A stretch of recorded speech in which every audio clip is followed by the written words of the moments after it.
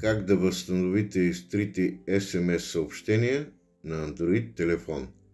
Здравейте на всички и добре дошли отново в каналът на Кико. В това видео ще ви покажа как може лесно да възстановите изтрити SMS съобщения на всеки Android телефон. Така че без да губим повече време, започваме. Първото, което ще направя е да отворя съобщение да ги маркирам, след което ще ги изтрия от моят списък за винаги. След като бъдат изтрити, сега ще опитаме да ги възстановим наново. За да направим всичко това, трябва да влезем в Google Play Store, да потърсим това приложение и да го инсталираме. Това приложение архивира и възстановява SMS съобщения. Инсталирайте приложението и после го отворете. Сега натиснете на трите хоризонтални черти горе вляво, след което натиснете Възстановяване.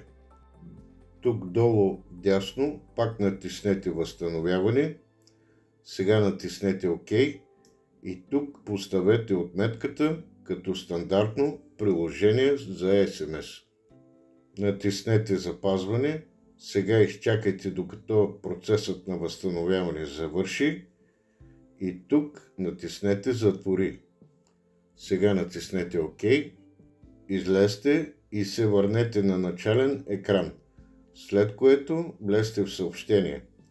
Тук натиснете върху стандартно приложение за SMS съобщение, сложете отметката на съобщение, натиснете Запазване. И всичко е готово.